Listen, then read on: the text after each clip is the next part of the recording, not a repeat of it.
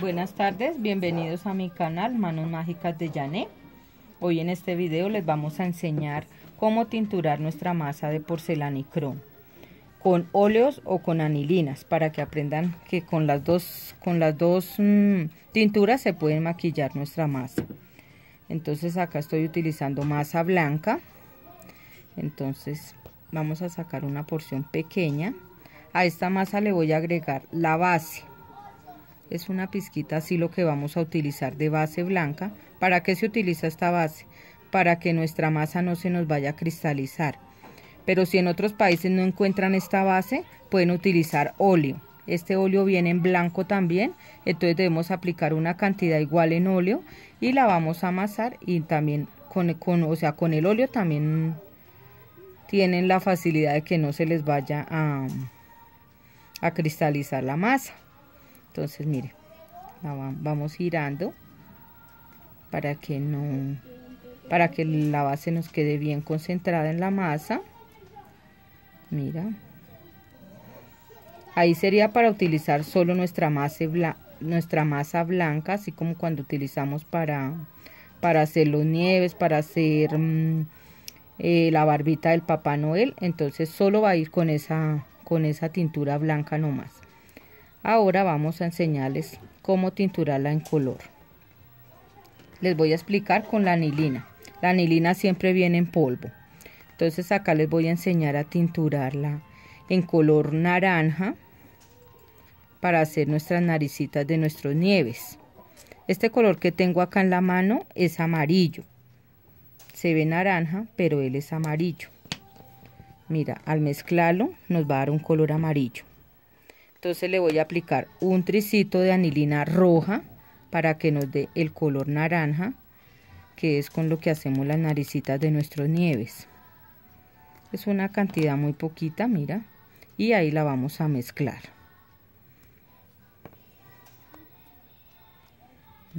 vamos dándole vuelta, siempre con la yemita de nuestros dedos. Vamos dándole vuelta para que quede bien incorporada nuestra anilina.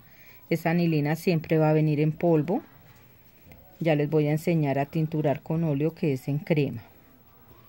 Mira, vamos girándola. Me voy a aplicar un poquito de cremita en la mano para que no se nos pegue. Recuerden que esa cremita puede ser mm, en vaselina para que no se les vaya a pegar en las manos. Aceite no vayan a utilizar porque el aceite lo que hace es gretearnos nuestra masa. Mira. Ahí ya nos quedó un color naranja. Si lo quiere un poquito más clarito, entonces vamos a agregar un poquito más de masa. Mira, súper fácil tinturar con anilina. Mira, ahí ya nos quedó. Ahora vamos a utilizar nuestra masa blanca. Ya tiene base, como les había explicado ahorita.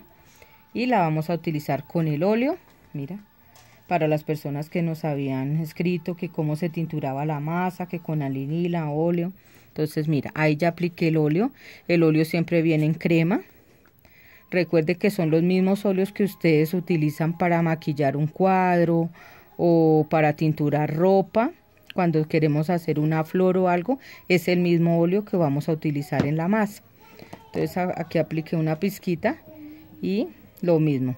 Vamos dando vuelta a la masita es súper fácil utilizarlo. Mira. Este no se nos riega tanto como la anilina porque ya es en crema. Vienen en todos los tonos lo pueden utilizar ese óleo es muy bonito. Lo único es que tienen que tener cuidado porque en la ropa sí se nos mancharía la ropa con, con el óleo y no va a caer. Mira es súper fácil súper fácil tinturar la masa.